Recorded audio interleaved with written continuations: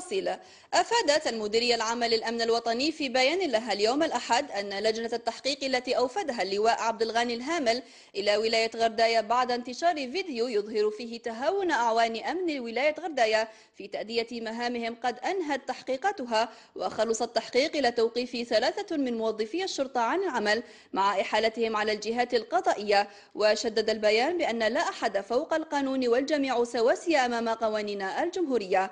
وقال العميد أول للشرطة جلال بوداليا بأن هذا التصرف فردي ولا يمت بصلة لجهاز الأمن الوطني وأن بعض المشاهد التي جاءت في الفيديو كانت تصرفا فرديا لا يعبر إطلاقا عن رؤية وواقع الجهاز.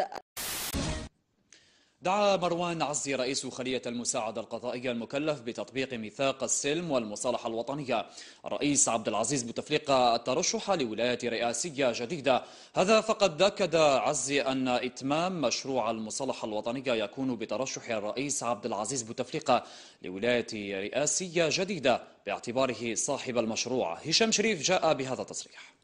لما وصل السيد الرئيس عبد العزيز بوتفليقة إلى سدة الحكم في 1999 كان في أول تدخل إعلامي له قد تعهد بمجموعة من الوعود والتعهدات التي قدمها إلى الشعب الجزائري. ولعل أبرز تلك المسائل هي تعهده بإطفاء نار الفتنة. هي كلها هذه القوانين ساهمت وبشكل كبير في استرجاع السلم والأمن والاستقرار وتمكنت هذه التدابير والإجراءات من الحد وبشكل كبير من نزيف الدم الذي كانت يعني تمر به الجزائر وتمكن السيد الرئيس بفضل حنكته وشجاعته السياسية والأخلاقية من حقيقة تجسيد أهم وعوده ألا وهو إطفاء نار Les affaires privées se traitent en privé, dans une intimité respectueuse de chacun.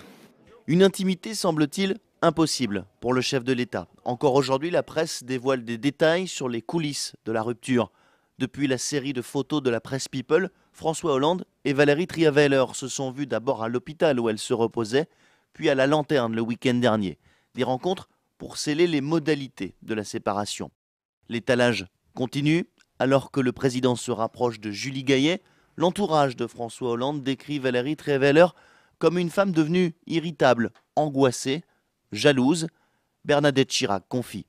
Il n'en pouvait plus, elle lui menait une vie impossible. Valérie Trierweiler aurait voulu rester, pardonner. Elle aurait même envisagé de participer à la conférence de presse du 14 janvier. Au fil des colonnes, d'autres proches s'épanchent. François traite Valérie comme un dossier à régler froidement. Ultime indiscrétion, le règlement matériel du préjudice moral pour la première dame, appartement, compensation financière. Malgré sa volonté, il reste désormais bien peu de choses privées dans la vie de François Hollande.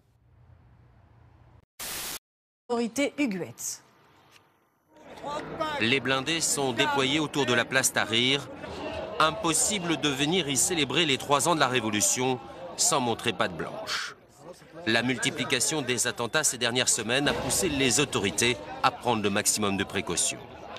Sur la place, sans surprise, les partisans du général Al-Sisi chantent les louanges du nouvel homme fort du régime, sans doute le prochain président de l'Égypte. Je veux que Sisi soit le président de notre pays. Je dis aussi exécuter les frères musulmans. Les frères musulmans qualifiés d'organisation terroriste par le régime et qui ont appelé à manifester malgré l'interdiction de ces rassemblements. À peine formés, les cortèges sont harcelés par les policiers anti-émeutes. Tirs de grenades lacrymogènes contre jets de pierre, la confusion est à son comble lorsque des partisans du régime s'en prennent à leur tour aux opposants. Plusieurs manifestants sont tués par balles. Les blessés se comptent par dizaines. Les arrestations musclées se multiplient. À chacun sa manifestation ici, les jeunes issus des mouvements laïques et démocratiques. Ils estiment que les militaires ont trahi les idéaux de la révolution. Les forces de l'ordre ne sont pas plus tendres avec eux.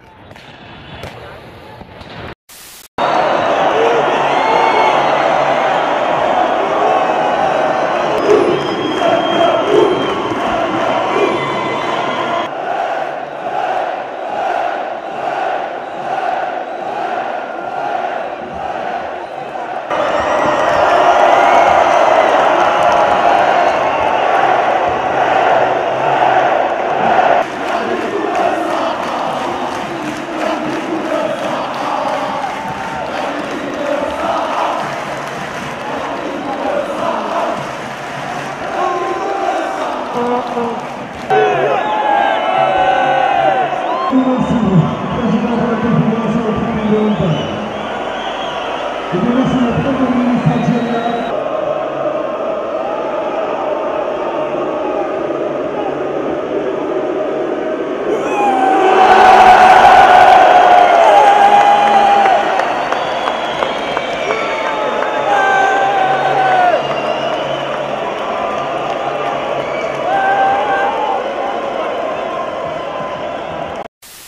كما تعهد به السيد رئيس الجمهورية أمام الشعب قاطبة.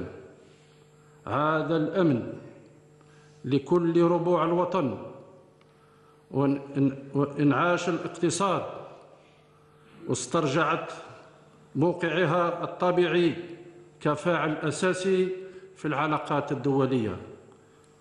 وبلادنا تتطلع اليوم بكل تفاؤل نحو المستقبل ونحو الحداثة ونحو العصرنة مع التمسك بأصالتنا وبهوتنا الإسلامية العربية والأمازيغية. هذه هي